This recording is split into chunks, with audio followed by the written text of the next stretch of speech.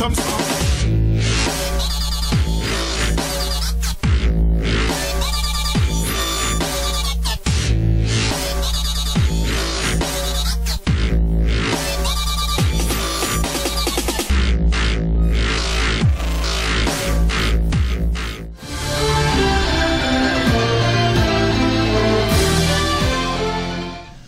Olá, tudo bem? Nós estamos aqui para conversar com o Martinho Santos e com o Amaro Pérez, promotores da primeira Expo Querência número 1 e também do Fandango na Querência.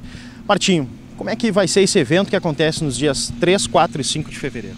De acordo com a programação, de acordo com o que foi aprovado, nós queremos fazer o diferencial em TAPS.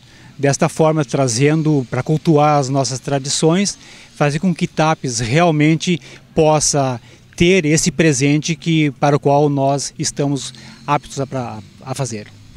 Amaro, qual é o objetivo principal do evento? Em primeiro lugar, nós queremos trazer de volta para TAPS as famílias oriundas daqui e que moram em outros rincões. Então, por isso a querência número um, para que as pessoas venham para TAPS, retornem para sua querência. Isso é uma das coisas. Outra, a parte cultural, trazer realmente no verão um atrativo especial para os veranistas, para os turistas e aquelas pessoas que venham para cá sabendo que esta festa vai acontecer em TAPS. Né? Culturalmente, expositores e todos os atrativos que a gente programou para esta festa, para que seja realmente uma coisa boa, para que as pessoas lembrem desta data, que este evento vai ficar no calendário dos, das coisas culturais no verão de TAPS. Martinho, o evento acontece no Camping Recanto da Lagoa. Vocês escolheram esse lugar por um motivo especial? Esse evento acontece no Camping Recanto da Lagoa porque ele é junto com a, com a lagoa, uma mata fantástica que tem lá e até por por questão de conhecimento que as pessoas estão acostumadas com o Camping Recanto da Lagoa, que é o antigo camping municipal. E ali estão agregados demais campings para facilitar o acesso. Acreditamos e defendemos essa tese de que todos os eventos devam acontecer é, mais próximo da lagoa, porque assim teremos oportunidade de receber os visitantes, o comércio e etc. com, com os eventos. Né? Amaro, quais são as atrações artísticas desse evento?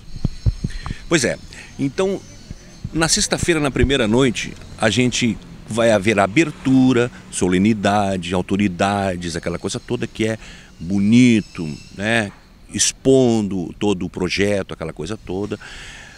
E o show de abertura nós priorizamos TAPES. Com quem? Com o nosso artista Marcos Vigolo, um grande cantor, um grande cara, uma grande pessoa, que vai fazer o show de abertura da querência número um com alguém da querência, com alguém daqui de Tapes, entendeu? Então, o show de abertura será com Marcos Vigolo, ele vai fazer um show bailanta, não é? No sábado, após a abertura de expositores, praça de alimentação e outras coisas mais, à tarde vai haver o baile da terceira idade, que vai ser animado por uma dupla de Porto Alegre, Zezinho e Luciano Macedo, que são dois grandes artistas, um gaiteiro e um violonista, que atuam nesta área. São especialistas nisso e animam barbaridade à melhor idade, como se diz.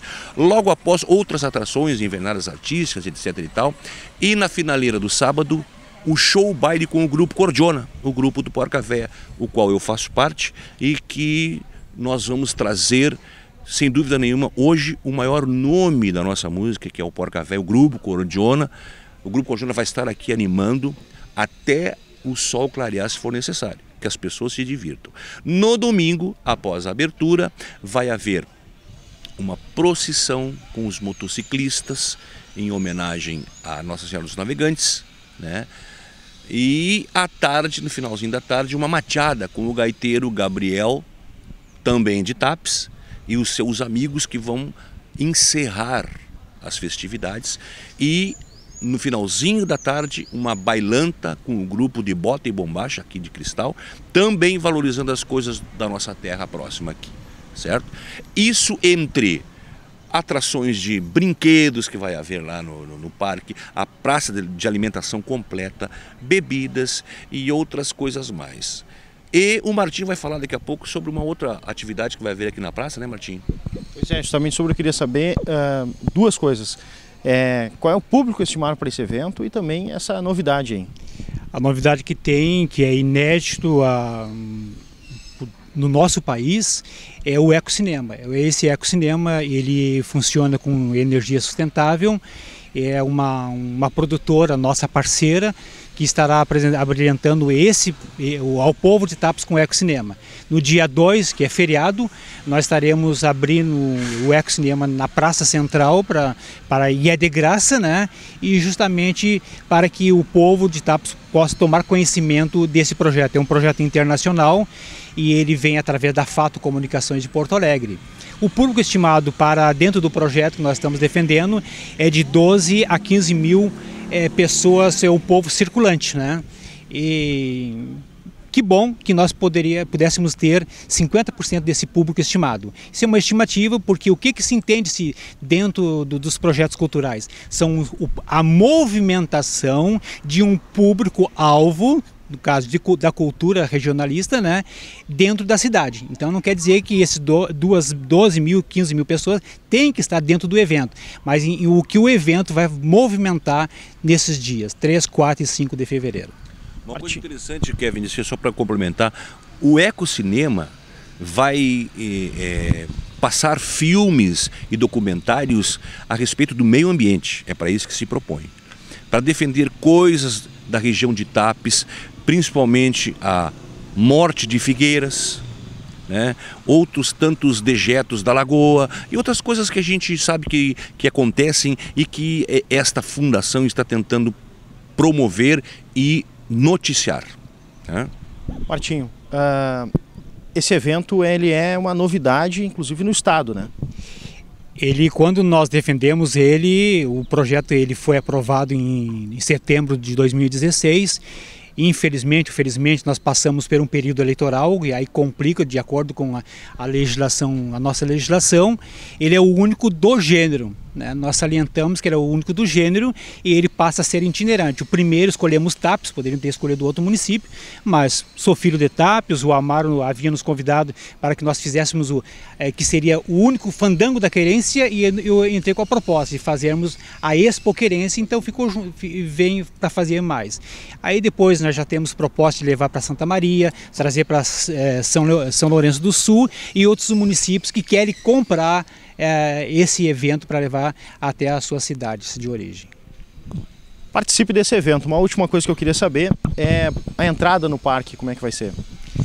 Nós temos que cobrar ingresso porque tem verbas especiais nisso aí.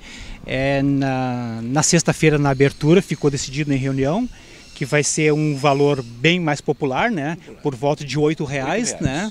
Para todas essas atrações. No sábado, o baile da terceira idade vai ser dez reais é, para participar do baile da terceira idade e no baile, na, no fandango, vai ser o custo de, de, de 20 reais é, para o homem e 15 reais para a mulher.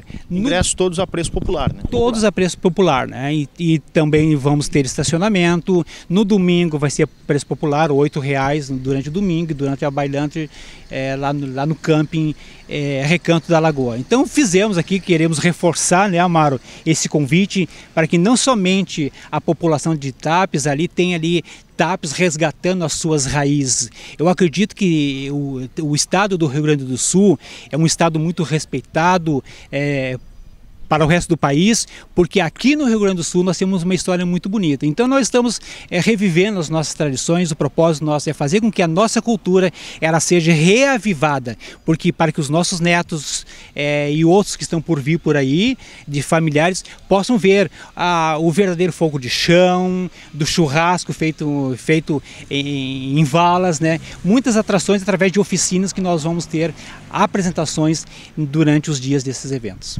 O evento vai contar também com a exposição de alguns estandes, é isso? Com certeza, nós disponibilizamos 28 espaços é, e queremos aqui dessa, dessa feita né, também agradecer a Emater, que é o nosso carro-chefe, que nos apoiando. Nós estamos hoje, está sobrando tão somente de 4, 5 espaços para completar as exposições. Teremos artesanato, teremos serviço, teremos indústrias também que estão trazendo.